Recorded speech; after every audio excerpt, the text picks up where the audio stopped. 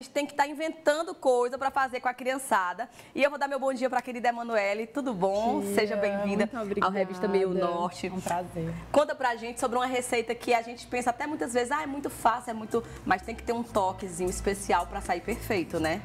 O segredo é seguir a receita. Ótimo, pronto. Essa receita que eu trouxe hoje, as mamães vão conseguir fazer tranquilamente. Dá pra fazer junto com a criança. Ótimo. Então, gente, a gente tem aí a cartelinha que a gente vai falar aqui sobre a receita do dia, que tá disponível daqui a pouco no nosso Instagram, que é o... Inclusive, pode abrir o nosso Instagram, que é o Revista Meio Norte. Você vai conferir aí a receita do bolo caseiro, que você vai precisar de farinha de trigo, né? A gente vai precisar de quatro ovos. Quatro ovos. Uma xícara de açúcar, uma xícara de leite, uma xícara de óleo.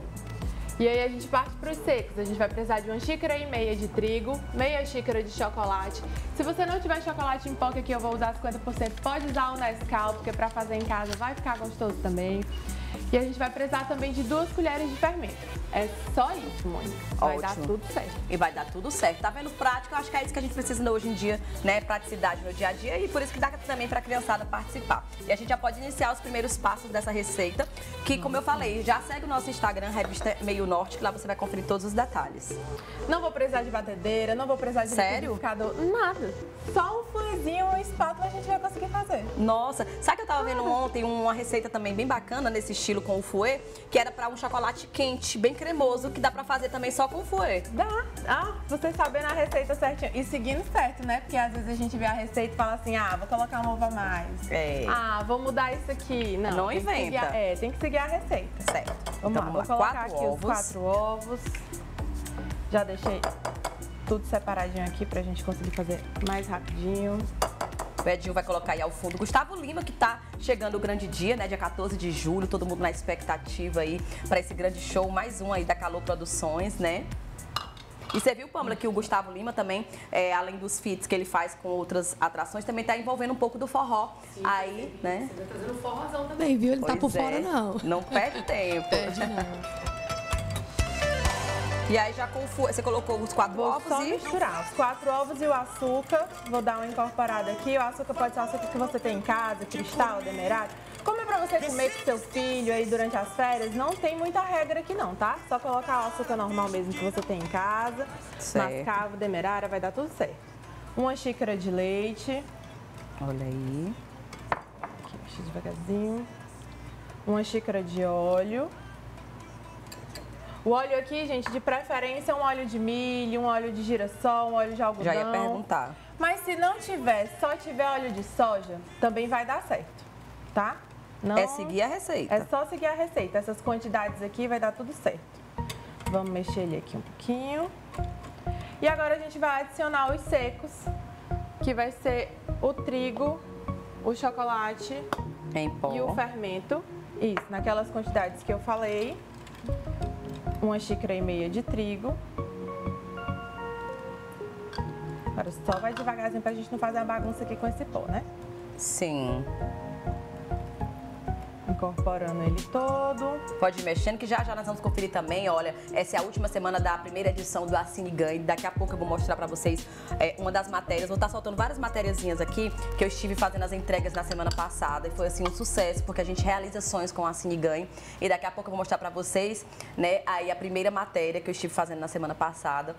E muita gente apostando que vai dar certo. E realmente, basta você acreditar e fazer o seu Pix aí em um dos combos disponíveis. Já já eu explico como. E ó, você colocou o chocolate em pó, o fermento. Vou colocar o fermento agora. Pronto. Pronto. Aqui duas xícaras, duas colherzinhas de fermento. E a gente já, não dá pra vocês sentirem, mas eu já tô sentindo aqui aquele cheirinho de massa, né, de bolo, realmente de chocolate, quando a vovó fazia, que a gente colocava o dedo na massa crua, né? Você já fez isso, né, Pamela? Mais gostoso que o bolo feito. Quem, quem não fez? Olha? Quem não fez? Tem coisas da nossa infância que não tem como a gente não lembrar, né? Ontem eu tava olhando no Instagram, aí tinha foto num memezinho, né? De quatro pintos coloridos. Lembra dos pintinhos coloridos, Aí né? tinha um rosa, minha Aí filha. na internet tinha assim, confessa se você não teve um e também ele morreu. Todo mundo teve um pinto colorido e ele morreu, É, né? Exatamente. Dado na época da Páscoa do Jesus. colégio. Eita, era bom demais. Tempos que não voltam mais, né? Tudo diferente hoje em dia. Aqui minha massa ela já tá pronta. Menina, que rápido. Ah, Não disse que era Tô prático, chocada, toda mãe vai conseguir fazer?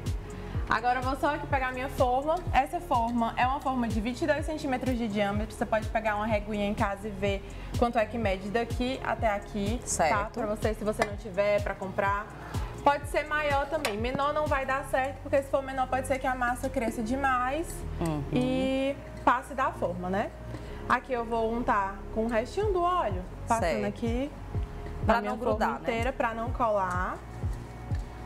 Lembrando aqui, meu forno tá pré-aquecido, já liguei ele a 180 graus.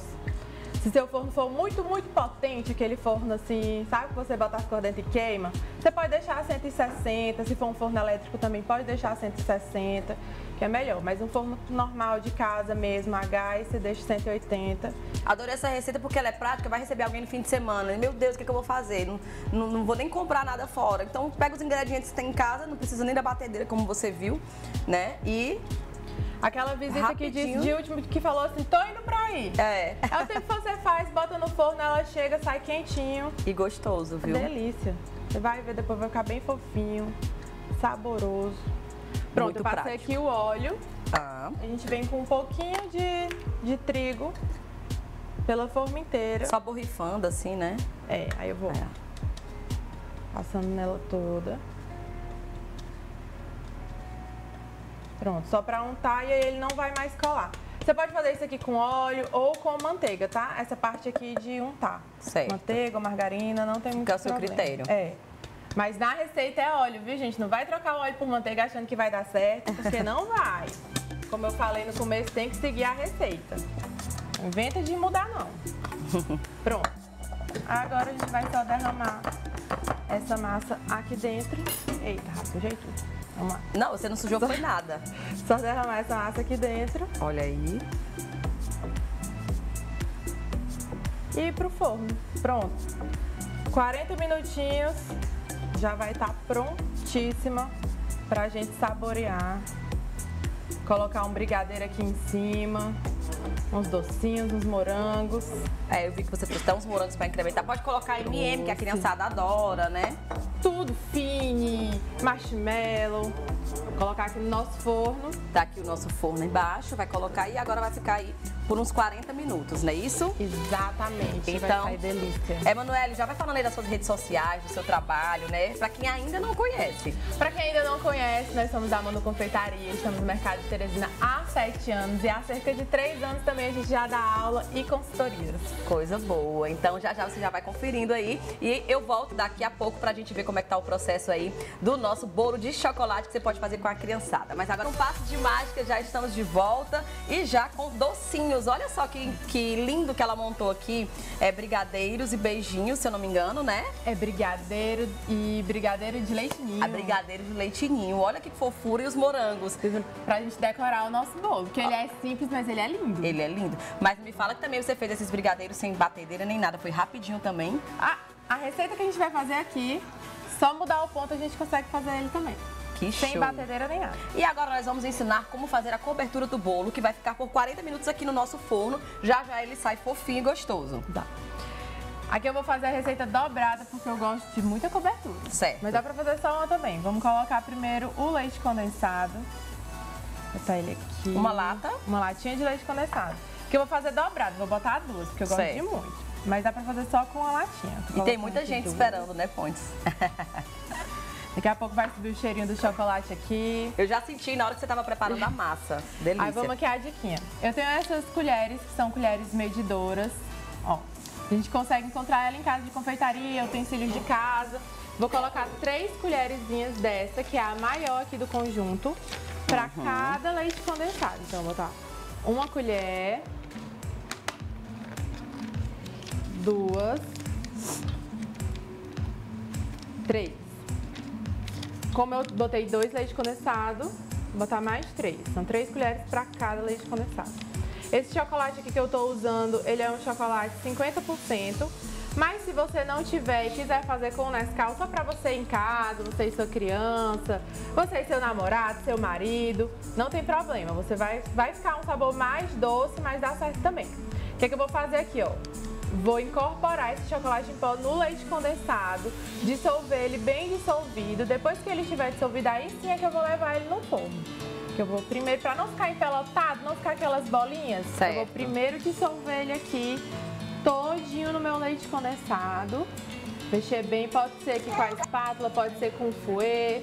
De preferência espátula de silicone, tá, gente? Pra não ficar raspando a panela, não grudar no fundo da panela, não queimar nosso brigadeiro. Pronto, ó. Incorporei ele aqui todinho, já tá todo dissolvido no leite condensado. Agora a gente vai dar o pulo do gato para não ficar muito doce e ficar cremoso.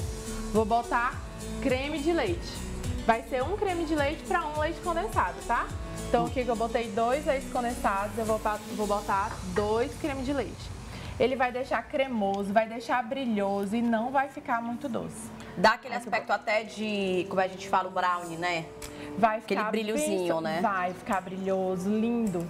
E daqui a gente já vai levar pro fogo. Ótimo. Agora esse fogo aqui tu vai ter que ligar pra mim, Tá porque bom. nesse aqui eu não sei mexer. Exato, já tô ligando. Você vai colocar, ele vai ficar quanto tempo?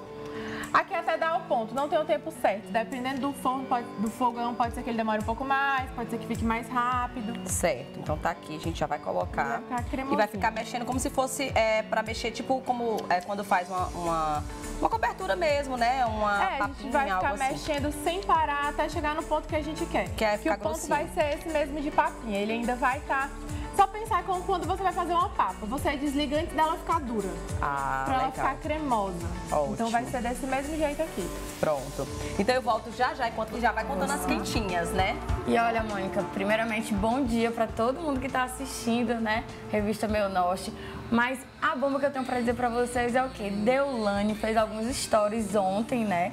Falando que vem para Teresina terça-feira. Instagram também do Revista Meu Norte e Teresina Sua Louca. Ela colocou a cobertura e o que eu achei interessante é que você cobriu o furo do bolo.